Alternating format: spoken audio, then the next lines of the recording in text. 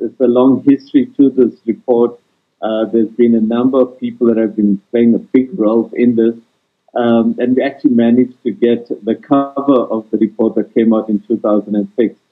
And I was glad to see uh, in the uh, list of RSVPs a number of people who were involved in the 2006 project. And we also have as respondents some of the colleagues that were there and who would also be reflecting on what this report presents. Um, it, you know, the, the 2006 report obviously is a good one to look at and to measure where we are today as a country in 2023. Uh, it focused then, uh, and I think uh, it was unusual, uh, I suppose one should say, because we are used to referring to macroeconomic trends, etc., etc. But I think there's a sense that, look, you know, there's a lot more thinking going on around social issues and social trends, and hence uh, the kind of various themes that we identified in that 2006 report. Uh, it concluded that South Africa had been transformed on the basis of constitutional imperatives, and this had helped towards nation building and reconciliation. It cited public positive public outcomes, uh, transformation in politics, socioeconomic, and culture. But, uh, and I think that recording in progress.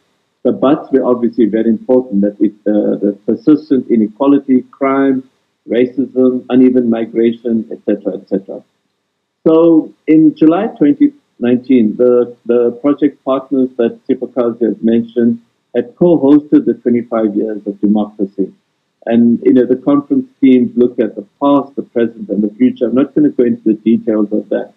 But what was important was that the same uh, partners then decided to let's take up the, uh, the cudgels, uh, in a sense, of reflecting on where our society is going, where these various macro-social um, indicators were.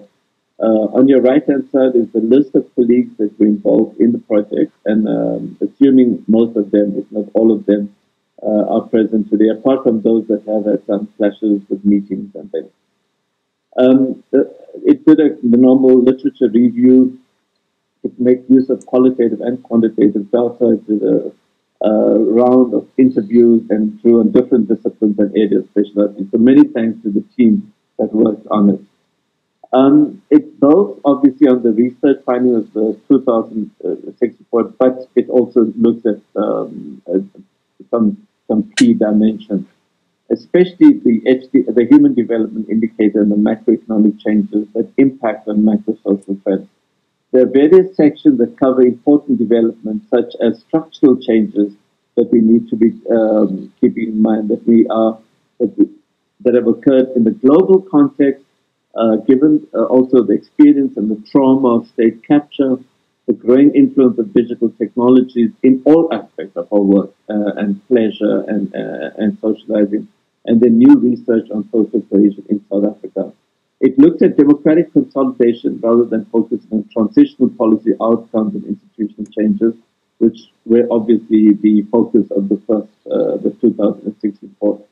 Um, and at the time when we wrote this, um, uh, when it came together towards the end of last year, um, the 2022 report also was reflecting on the kind of social compacting processes that the president was trying to lead.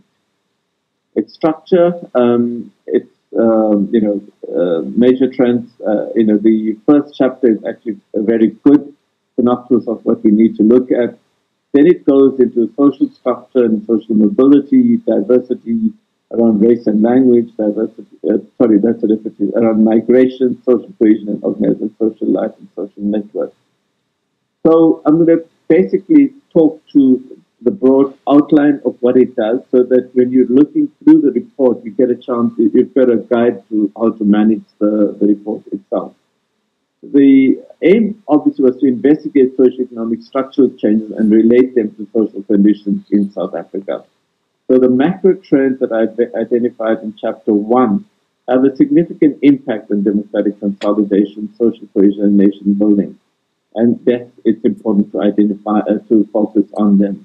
And as I mentioned, important recent developments, AI being, uh, and the whole digital economy transition, really, really important was, is was and is low carbon economic policy shift and the impact of debates and discourse around the just transition to a low carbon future and response to state capture.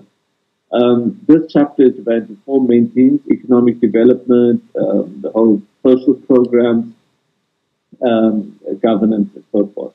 Now, chapter two is quite an interesting one because it looks at the social structure and social mobility.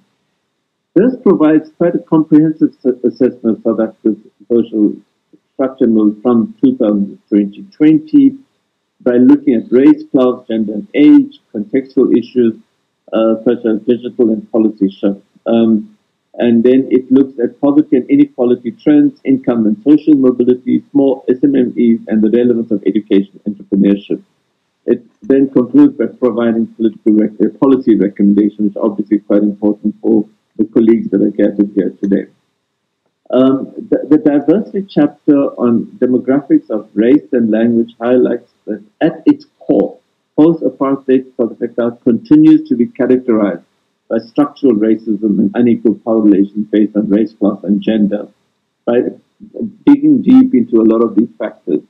Now, you know, this is this is one of the challenges I even faced when trying to uh, prepare the this presentation. That there are a lot of issues covered in this report, and, and all I can do is highlight some of it. So, um, but please do go into these aspects because they, they have tried to bring together uh, as much of the recent data that they have available.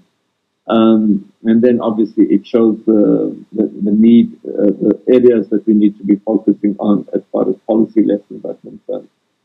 Um, the population by race, you've got a bit of a breakdown, but I think that the uh, right-hand corner is quite an interesting one about which part of our, so race remains a factor, a, a central defining factor of South Africa's socio-economic situation.